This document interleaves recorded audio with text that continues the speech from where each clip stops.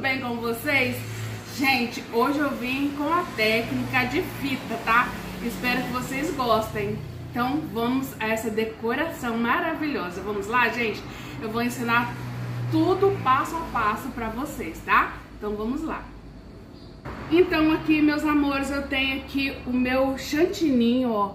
Agora eu vou texturizar Primeiro eu vou colocar aqui um fundo amarelo, né, gente? Porque eu quero fazer dourado. E a gente vai colocar glitter, né? Pra dar um tom bem dourado nesse bolo, né, Cíntia? Isso. E pra fita não colar, né, no bolo também. Vou falar tudinho pra vocês. Aqui, gente, eu tô colocando esse fundinho aqui.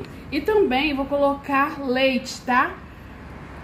Vocês podem estar texturizando aí com é, água, leite, leite condensado, o próprio chantilly, tá bom, gente? Mas eu uso leite, tá bom? Então vamos lá, gente. Agora é só chegar na texturização desse chantilly. Primeiro eu bato o chantilly bem duro, tá, gente? Bem duro mesmo, que aí fica mais fácil pra ele não desandar, né? A gente vai colocando aqui, gente, até atingir o ponto que a gente quer. Um chantilly bem estruturado. Vocês viram, pessoal, o meu bolo? Que lindo que tá? Já tá lindo desse jeito, né, Cíntia? Com certeza. Então, vai ficar mais lindo ainda, gente. Então, pessoal, aqui eu vou começar passando aqui o meu chantilly, aliás, o meu chantininho no meu bolo, olha.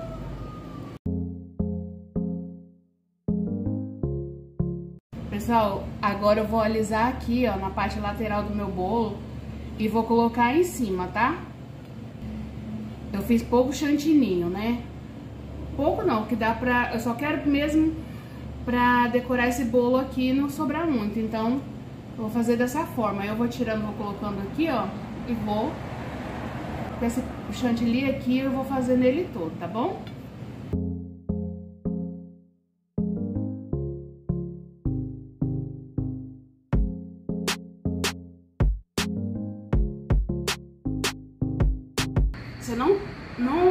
Consegue correr fazendo um bolo. Fazendo um bolo, vitrine, às vezes a gente anda rápido, mas um bolo elaborado demora um pouco, tá, gente? Não se prendam achando que, ah, no vídeo é, a pessoa fez rapidinho. Não, tem corte, tem a pessoa edita, né, Cíntia? Com certeza.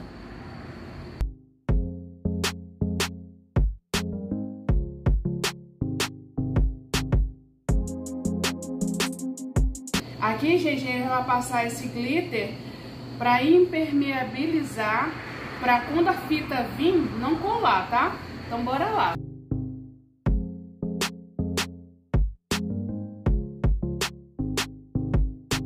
Olha, pessoal, como que ficou o nosso bolo.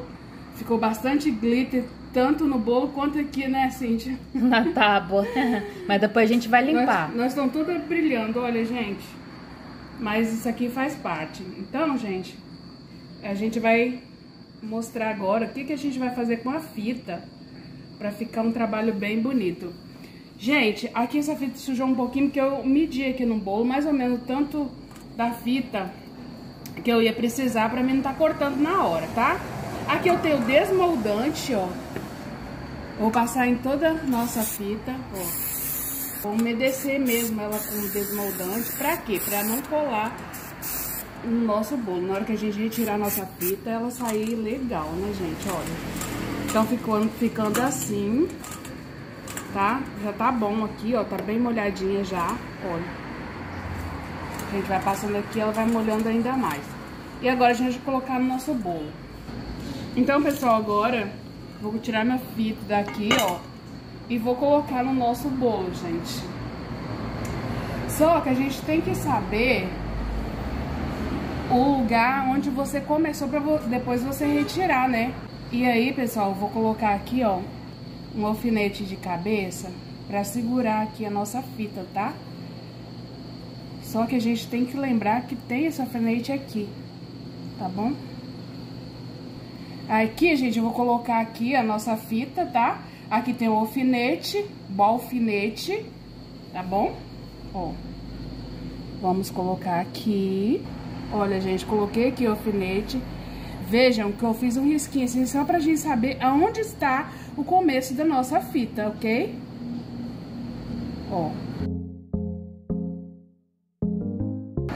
E aí, a gente vai colocando no nosso bolo, de acordo como vocês queiram colocar.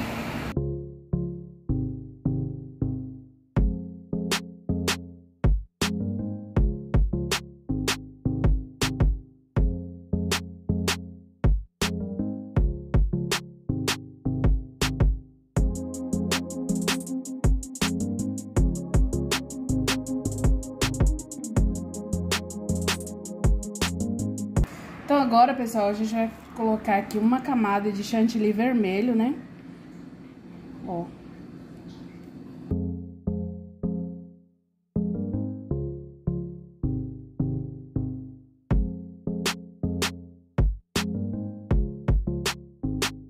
Aqui, pessoal, eu tô usando uma cor vermelho mais intenso, né, Cintia?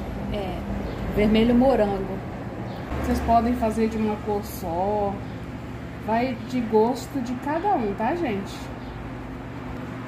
Viu, pessoal? Tampei a nossa fita todinha, ó. Agora a gente vai alisar, fazer textura, o que a gente quiser nesse bolo, pra depois a gente tá retirando essa fita, tá?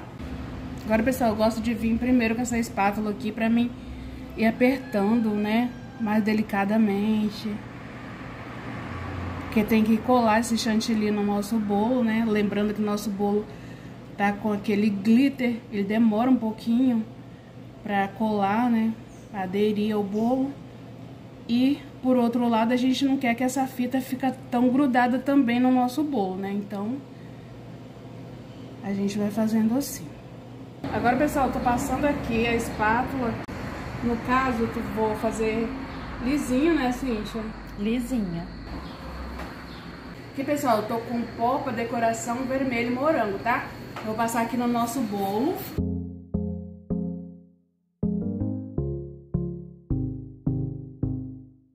Agora, pessoal, vou procurar aqui a minha fita, né? Como vocês viram, tá marcado aqui, ó.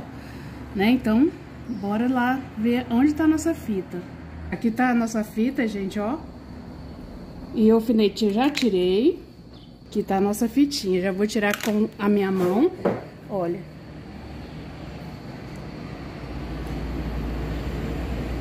Aí a gente vai retirando assim, gente, ó.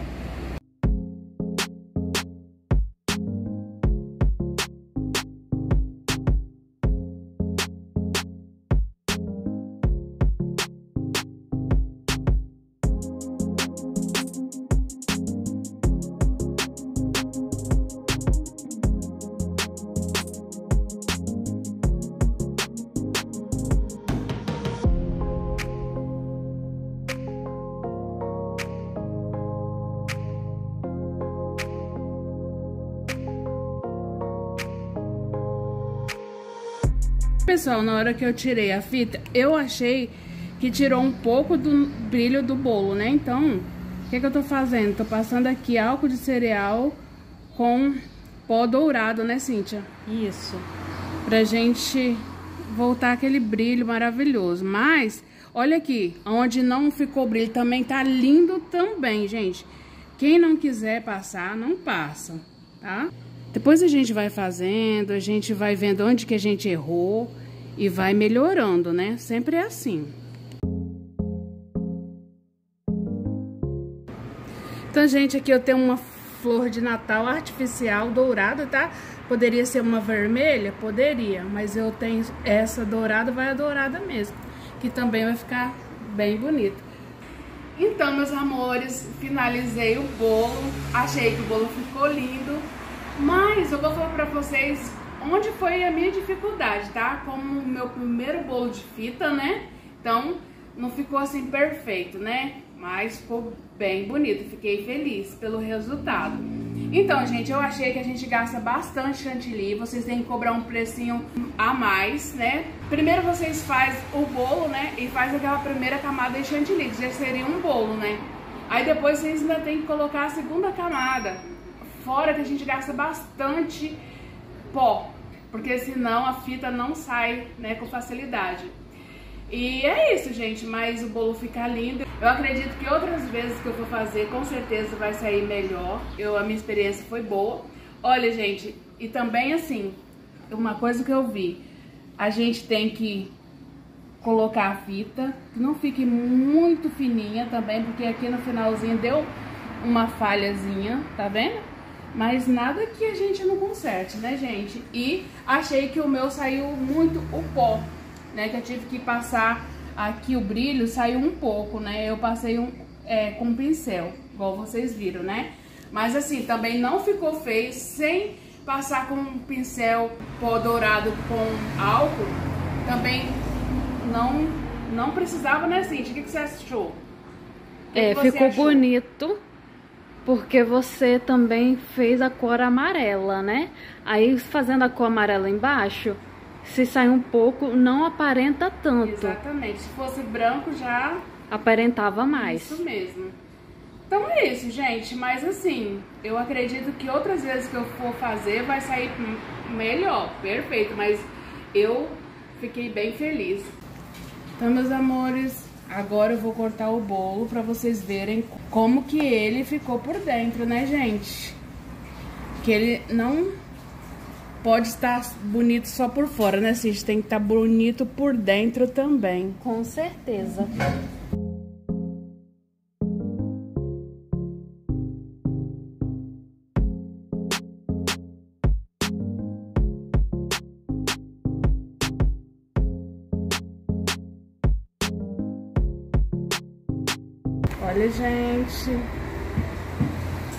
As camadas, tá vendo?